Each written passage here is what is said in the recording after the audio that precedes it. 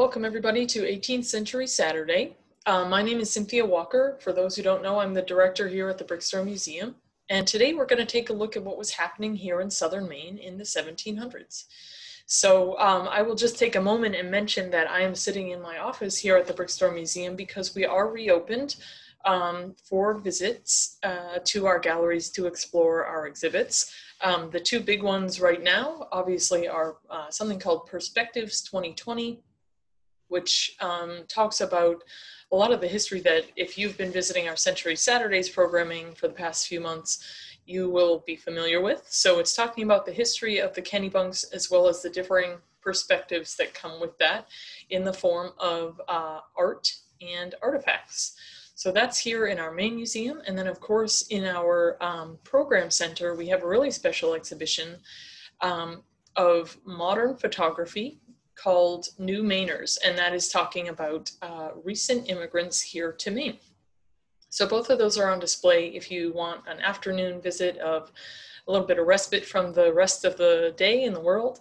Um, that's what the museum is here for. So you are more than welcome to join us. Tuesday through Saturdays, we're open um, to the public with limited uh, capacity, of course, and masks and plenty of hand sanitizer to go around.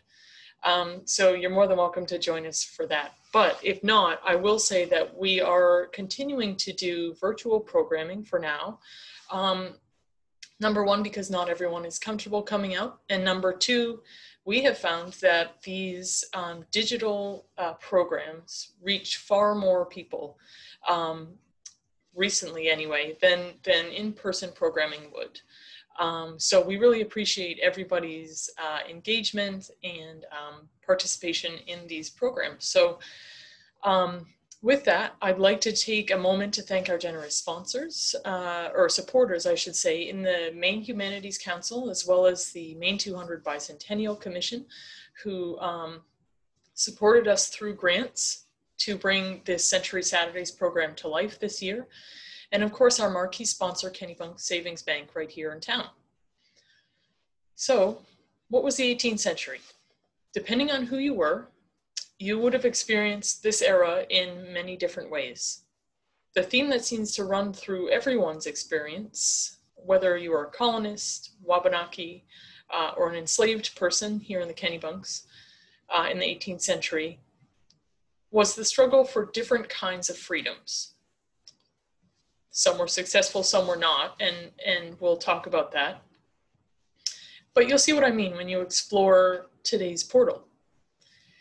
What has struck me in our research of the 18th century is the fact that at least 16 wars were fought over this century in North America, with at least seven of those wars taking place in or stretching to New England.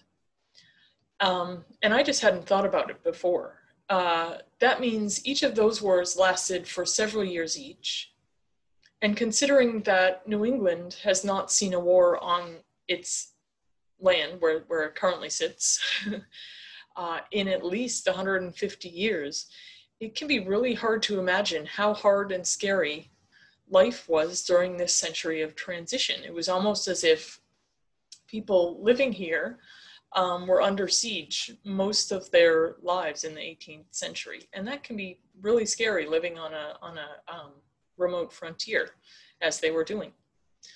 So, nonetheless, in this portal, you'll also find um, the smaller movements and motions people were making towards personal happiness um, and improvement of their communities, whatever those communities were.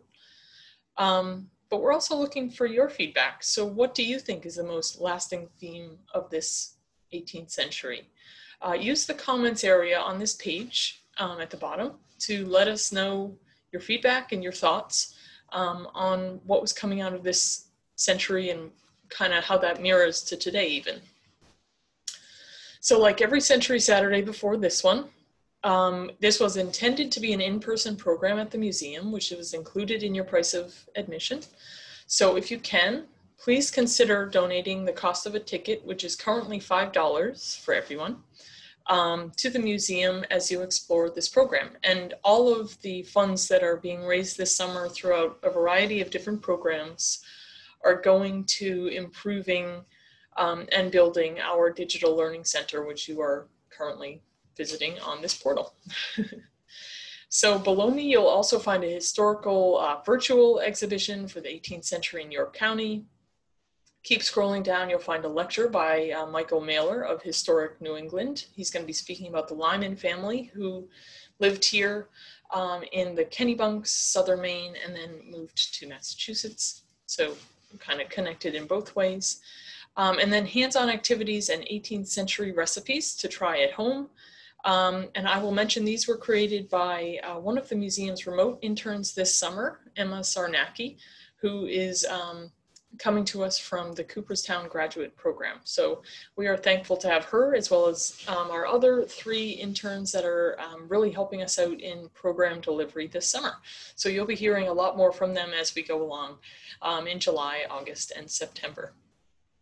So with that, I want to thank you for tuning in and have fun exploring the 18th century.